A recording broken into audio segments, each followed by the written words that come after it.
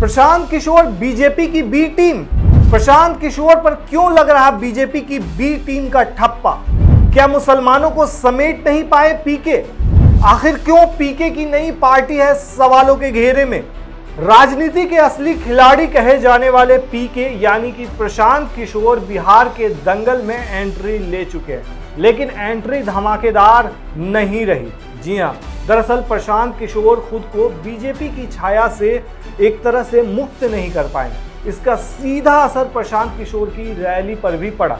लेकिन जन सुराज के इस भीड़ तंत्र पर एक नज़र डालें तो सबसे चौंकाने वाला सच ये सामने आया है कि प्रशांत किशोर की रणनीति के अनुसार राज्य के मुस्लिम और यादवों की संख्या उनके मजमे में काफ़ी कम रही। पहले राष्ट्रीय जनता दल ने एआईएमआईएम पर भी बीजेपी की बी टीम होने का आरोप लगाया था। इसके बाद प्रशांत किशोर की जन सुराज पार्टी को भी आरजेडी ने बीजेपी की बी टीम करार दिया।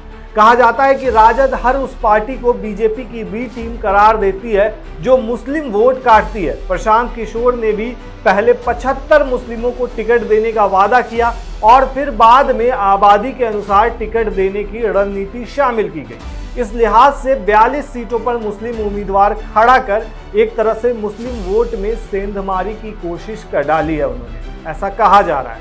कहा तो ये भी जा रहा है कि इसी से बिफर कर राजद के लोग जन सुराज को बीजेपी की बी टीम कहने लगे हैं। चलिए आपको चार वजह ऐसी बताते हैं जिससे लोगों को लगता है कि पीके सच में बीजेपी की बी टीम है।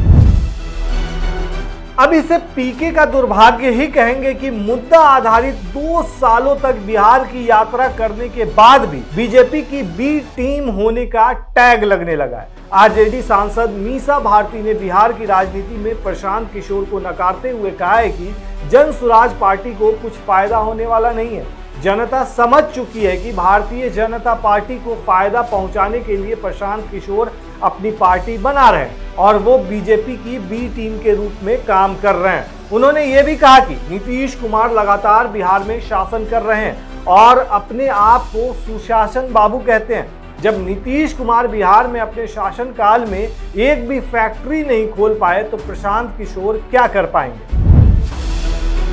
दरअसल राजद का जो ये आरोप है, इसकी वजह भी है। दरअसल प्रशांत किशोर का अतीत, यानी कि उनका जो हिस्ट्री रहा है, उसके वर्तमान के साथ चल रहा है, देखा जाए तो। बतौर रणनीतिकार जब वे उत्तर प्रदेश गए तो कहा जाता है कि पीके ने अपने प्रभाव में रखकर कई नेता, मसलन जगदम्बिका पाल, रीता बहुगुणा जोशी जैसे कद्दावर कांग्रेस नेताओं को बीजेपी ज्वाइन करा दिया, जबकि वे कांग्रेस समाजवादी गठबंधन को जीत दिलाने के लिए गए थे वहाँ। तो ऐसे में कहीं ना कहीं माना जाने लगा कि वो बीजेपी की आ, के लिए काम करते हैं। ठीक इसी तरह जब प्रशांत किशोर पश्चिम बंगाल में टीएमसी के रणनीतिकार बनकर गए तो कहा जाता है कि मुकुल राय अर्जुन सिंह निशित जैसे नेताओं ने तृणमूल कांग्रेस छोड़कर बीजेपी ज्वाइन कर दिया जब पीके पंजाब में रणनीति बनाने गए तो कैप्टन अमरिंदर सिंह ने बीजेपी की शरण ले ली। इन प्रसंगों के हवाले से राजनीतिक गलियारों में ये संदेश चला गया कि वे बीजेपी के लिए बैटिंग करते हैं। एक बार तो खुद राज्य के मुख्यमंत्री नीतीश कुमार ने पीके को बीजेपी के करीब बताते हुए साफ़ कहा था कि वे बीजेपी के करीबी रहे। हमने उन्हें राष्ट्रीय उपाध्यक्ष भी केंद्रीय गृह मंत्री अमित शाह के कहने पर बनाया था। यह अपने आप में बड़ा आरोप था, दोस्तों। मुसलमानों को समेट नहीं पाए पीके। मतलब पीके की जो राजनीति रही है, वो एक तरह से सभी को सामाजिक हक दिलाने की बात करते हैं और खासकर मुसलमानों को भी लेकर चलने की बात करते हैं। कई एक्सपर्ट्स का मानना है कि तमाम मुस्लिमों को ज़बरदस्त हिस्सेदारी देने के बाद भी प्रशांत किशोर अगर मुस्लिम को साधने में असफल रहे तो इसकी वजह है। एक तो उनका करियर का उत्थान बीजेपी के साथ हुआ।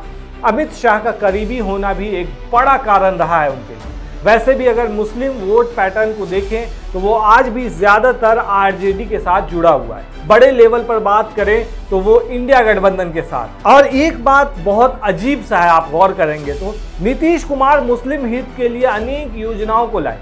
तब भी वे मुसलमानों का भरोसा नहीं जीत पाए। लेकिन वे अगर राजद के साथ होते हैं, तब उन्हें भी वोट मिलता है मुसलमानों का। बीजेपी के साथ जाते ही नीतीश कुमार के वे फॉलोवर जो मुस्लिम हुआ करते हैं, वो राजद की तरफ़ दोबारा चले जाते हैं। बिहार में मुस्लिम वोटर का गणित अभी भी राजद के साथ है।